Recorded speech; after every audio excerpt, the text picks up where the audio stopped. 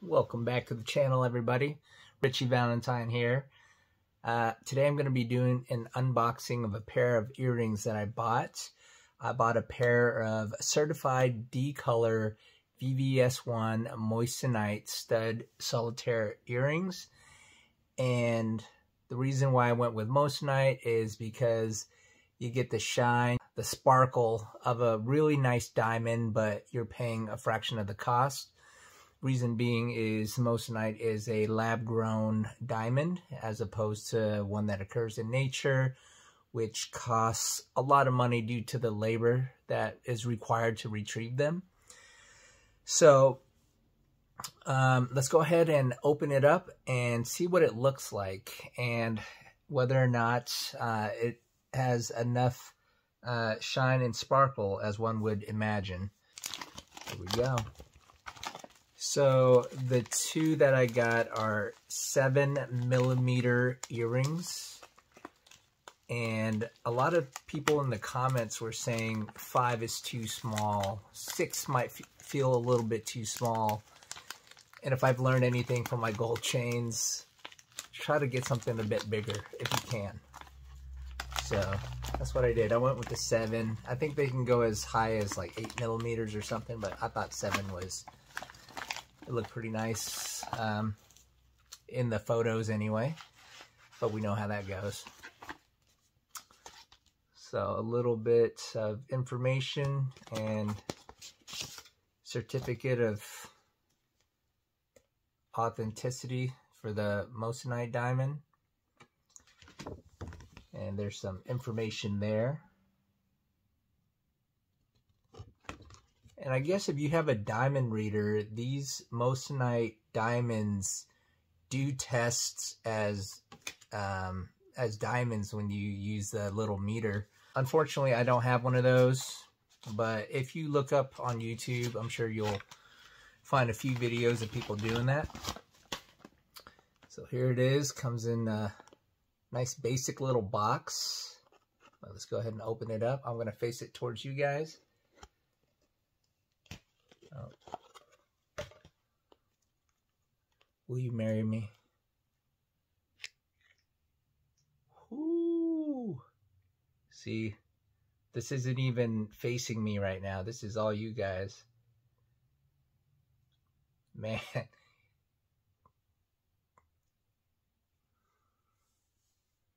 Wow, you know what? These, even 7 millimeters looks kind of small it may look really big on camera, but I mean, it'll probably look fine when I put them on. But I'm kind of glad I went with these rather than anything smaller. I would imagine a 5 millimeter would look microscopic. But look at that. I went with the gold plated earrings uh, to kind of mesh with my gold chains a bit in the past with my earring choices, I would get a sort of silver backing. And I decided to do something a little bit different this time around. Uh, that is sparkly, isn't it? Anyway, let's go ahead and put these on. Let's see if we can do another close-up. There we go. Ooh, that looks nice. Can you guys see that sparkle? All right, so these are twist-on backings. This one looks just a little bit bent. I don't know if you guys can see that. Anyway, I think there's too much finger action up on the, the camera here. Anyway, the backing looks slightly bent, but the earring itself looks okay. So let's go ahead and put them in. I was watching a few of these reviews before I bought them and I'm surprised not a lot of people were actually putting them on, trying them on and showing the camera what it looks like, which is, I thought was weird. But anyway, I'm to do it for y'all.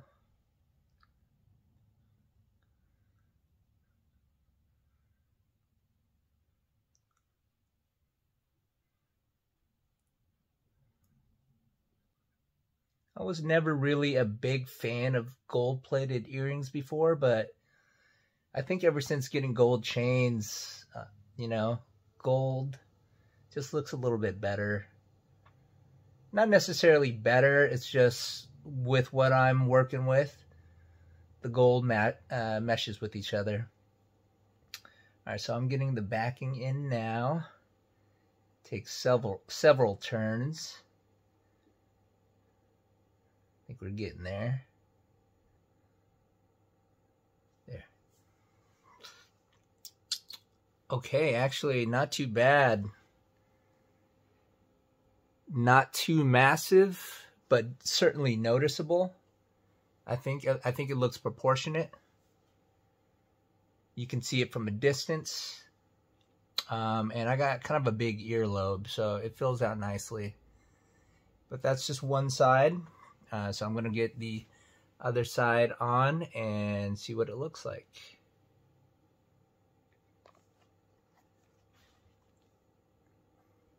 Show you guys the backing. And this one is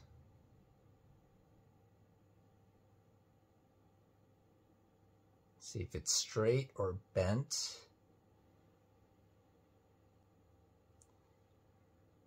This one looks a bit straighter, maybe slightly bent.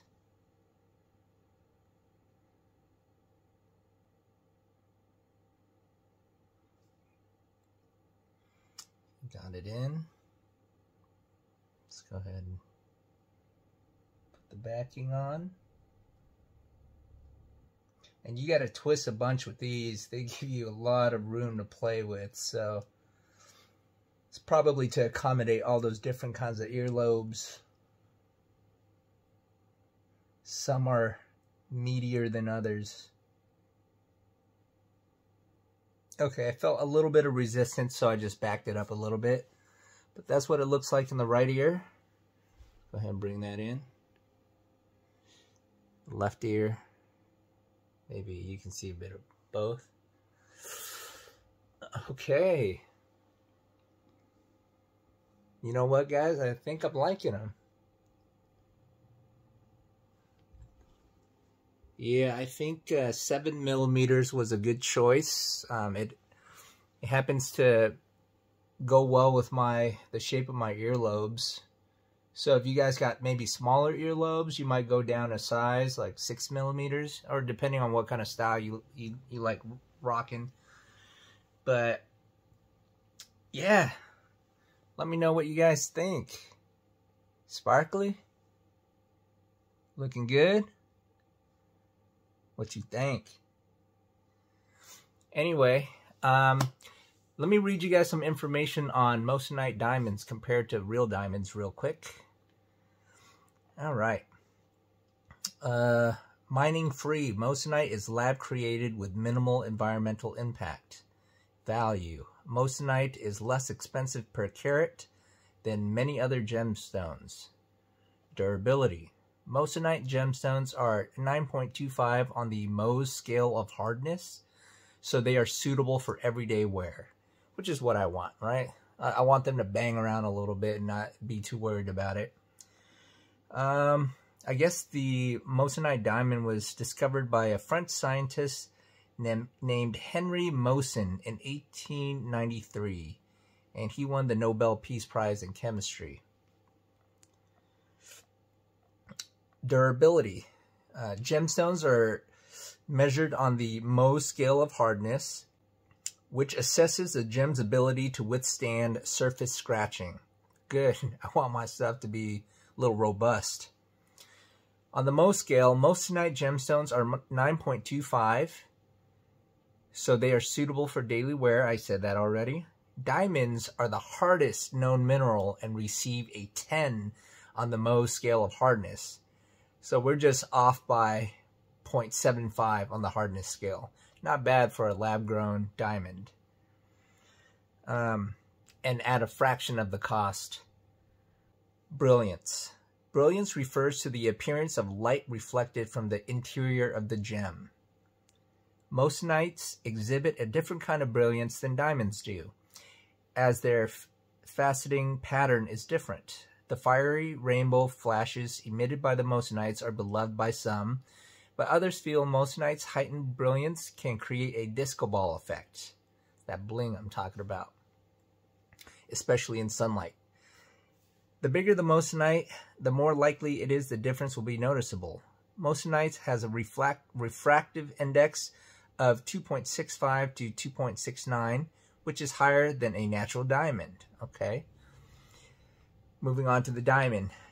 A different type of brilliance is what makes it possible to distinguish a moissanite from a diamond.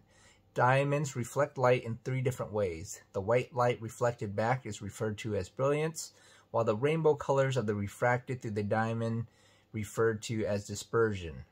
The surface sparkle of a diamond, know, known as scintillation, that's a new word, is a third type of diamond light return. The combination of these three give diamonds their famous sparkle. Okay.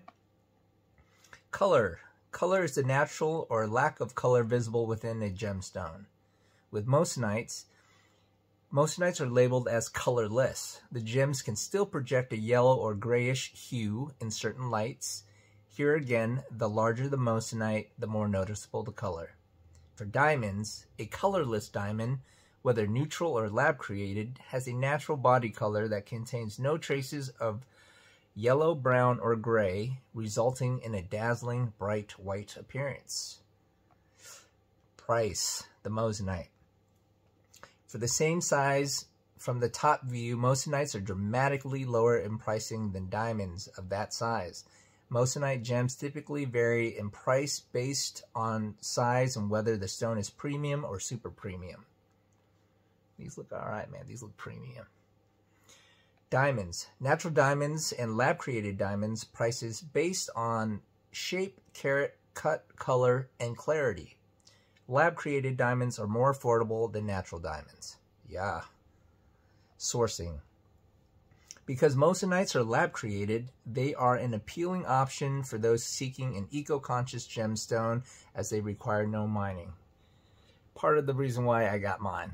And plus, it's not that expensive, let's be real. Diamonds.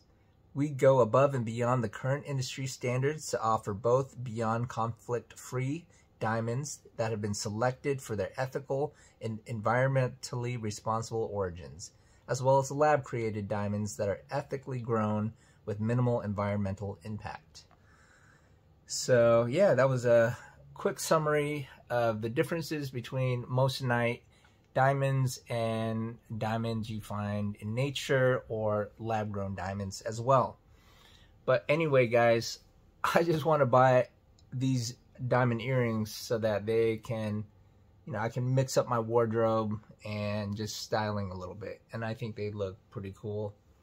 Um, the backing is hardly noticeable. You kind of have to bend your ear back, you know.